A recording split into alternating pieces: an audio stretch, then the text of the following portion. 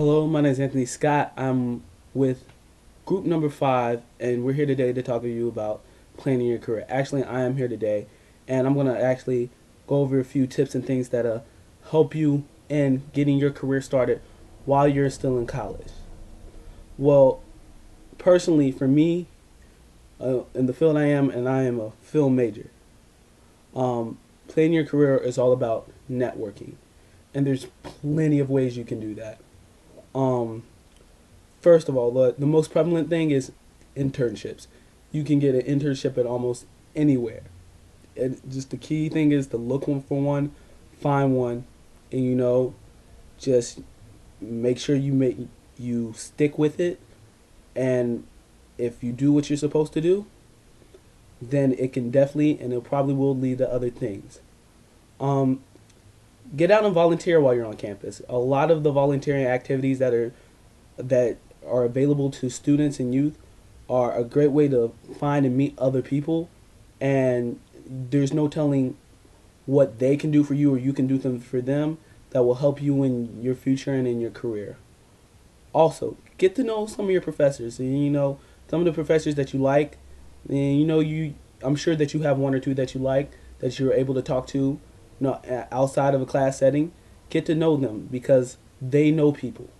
I promise you, they know people that will help you, and if you get to know them, they'll be able to help you. You know, um, also, you know, getting just working, working in general, while you're in college. Um, especially the work study campus, uh, work study program, working on campus can lead to, to a lot of great things while you're in college.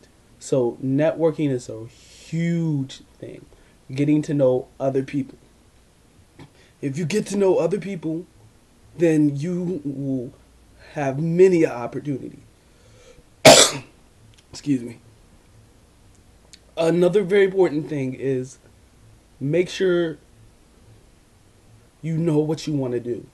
A lot of people come into the college, you know, and we talking about planning our careers. A lot of people come into college not knowing what they want to do. And I could sit here and tell you that there are several ways to figure out how you want to do and what you want to do. And for me, it's two simple things. And I think this can apply to everybody.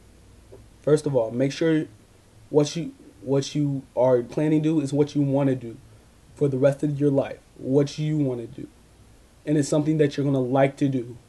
Some something that's not work for you. It may be your job, but make sure it is not work because if it is work, then you will not enjoy it and it's not something that you will be able to stick with it. And two, make sure you're you're good at it, you're fairly skilled at it or you have some sort of aptitude or training for it. It, it just makes things it, this is this one's not a necessarily a hard or steadfast rule, but it'll make things go a lot smoother and easier for you.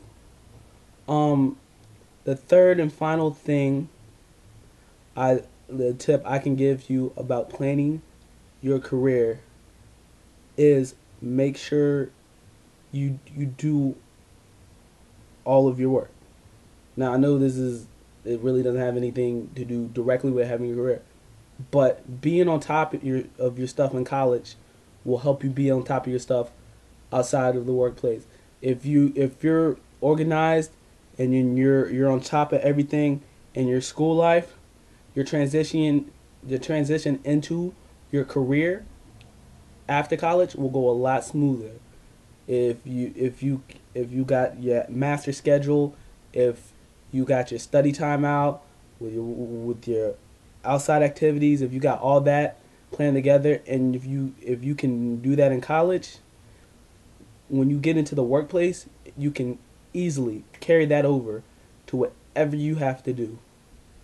And um, the, so those are that's what I have to say about planning your career. And these are just a couple things that I have found um, that make your career, or at least starting your career, successful and a whole lot easier.